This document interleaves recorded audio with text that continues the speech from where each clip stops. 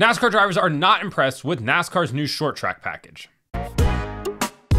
After the first day of practice on Friday, where NASCAR gave teams an additional 50 minutes to test out this new short track package, drivers did not have any rave reviews for this new package. In fact, they reviewed it a lot like most people reviewed the Emoji movie or Jack and Jill or any Adam Sandler movie from like the late 2010 or early 2010s rather.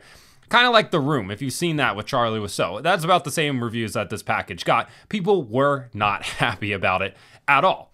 So, NASCAR, of course, this year changed up the short track package because what we've seen with the next gen car on short tracks has been absolutely abysmal so far.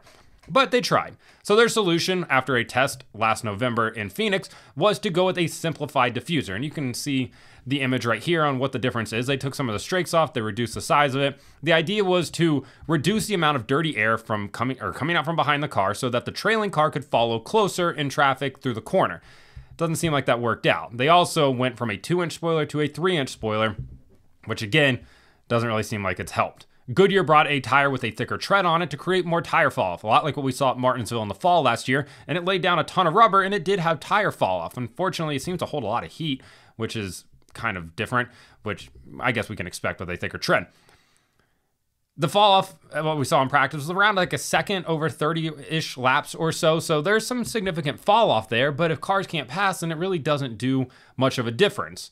Drivers, like I said, were not happy afterwards. Tyler Reddick said, quote, the car felt exponentially worse in traffic than it did last year. That's not ideal for NASCAR. You don't want your drivers coming out and saying that. It gets worse though. Chase Elliott said that he felt no difference in practice. He said if nobody had mentioned it, he wouldn't have even remembered that they changed anything. Not ideal, once again. Moving on to William Byron, he said he felt no difference with the new package, and he says that you could get within two or three car lengths of somebody, then he gets super tight and couldn't get any closer unless he had a two to three lap tire advantage. Just said he couldn't pass. It's bad news. Let's move on to the next one. Maybe we'll get a good review from Denny Hamlin. Denny Hamlin said he felt a little bit better. Okay, that's good. But otherwise, you couldn't tell a difference in the car compared to last year. Well, that's not as good as I think they were hoping for. Let's move on. Daniel Suarez, he's always a positive guy. Let's see what he has to say. Quote, the car is very bad in traffic, probably worse than before. All right. Um, move on to the next one, right? It's going to get better. Martin Truex Jr., he's a pretty level headed guy. He said that the car felt um, terrible in traffic. Odd. Okay. Well, so yeah, there weren't very many good reviews from it. I do understand the irony of me wearing a shirt that says support your local short track while talking about how bad the short track racing is in NASCAR right now. And hopefully, maybe everybody talking about how bad it is might, you know, spur NASCAR to take a bigger swing at it. And I understand. I completely understand NASCAR's point here, where they they don't want to take a gigantic swing at this and if that fails, then they just cost teams a lot of money by having to change a lot of things. I completely understand that. I think a lot of fans get wrapped up in the whole idea that they think NASCAR is not trying.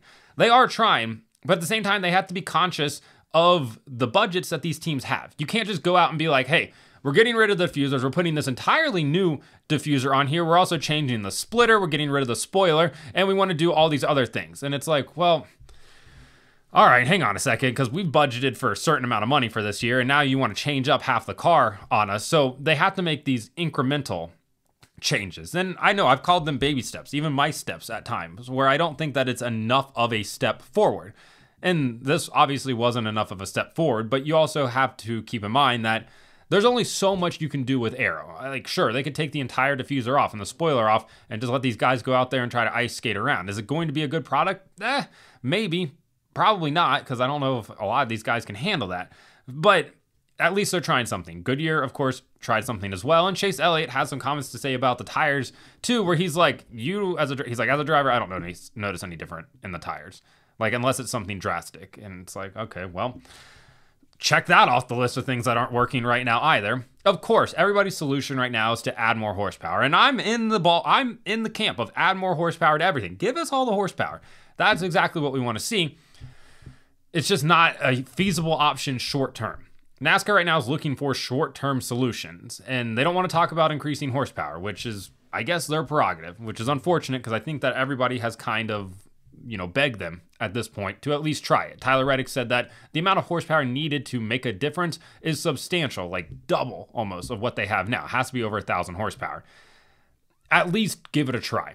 At least try out an 800 horsepower package or 900 horsepower package because right now the current 670 just isn't getting it done. But this doesn't exactly instill a ton of confidence for people wanting to tune in on Sunday. I get the sport probably not wanting these guys to come out and say this, but at the same time, we're now in year three of this car being, like I said, abysmal on short tracks. And with this only being the fourth race of the year and the first, quote, short track of the year, even though I don't consider a mile track a short track, it does make it feel like it's going to be a long season for short tracks once again, which is highly unfortunate because it means like the next big change likely isn't coming until 2025. And I don't know if you guys know this, it's March, and that's still nine months away. Well, in fact, it's 11 months away until 2025 season starts. So, yeah, not ideal. But maybe maybe it'll race better, right? We'll go into this with an open mind. So, tune in on Sunday, Fox, 3:30 p.m. East Coast time. I'm going to be positive. I'm going into this with a positive mind. Let me know in the comments what you think about the driver's comments on the new package. Like and subscribe to the channel. Follow me on TikTok at BrakeHard, Instagram and Twitter at BrakeHardBlog.